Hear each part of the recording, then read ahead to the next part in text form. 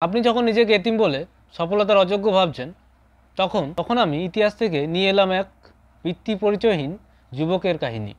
তার এক সময় থাকার জায়গা ছিল না।